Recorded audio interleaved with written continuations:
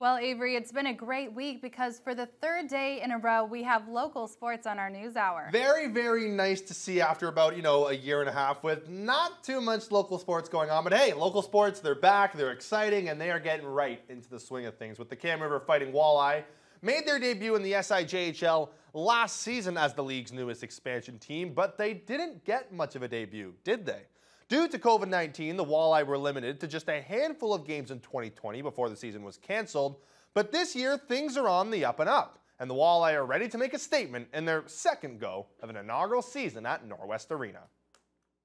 The Walleye will open the regular season next Saturday at home with their rivals from down the highway in Thunder Bay, with the North Stars heading west. It'll be the first time the two squads have met since 2020, with the Walleye taking the last contest between the two with a 6-5 overtime win.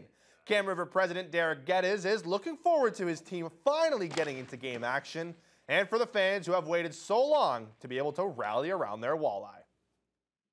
You know, we're excited to, to give them a show right from the beginning and, and show them we're for real.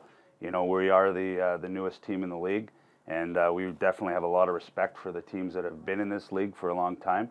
But we're here, uh, we're here to show we belong, and, and right from the puck drop next uh, next Saturday we will show that. We gave them a taste last year, but again, we were only allowed to have 50 people in the arena.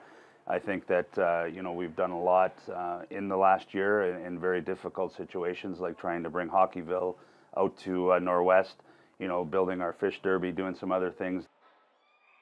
Those looking to check out the walleye can do so at the Teleko Cup at Norwest Arena this weekend, though the tournament will look a little different than originally planned.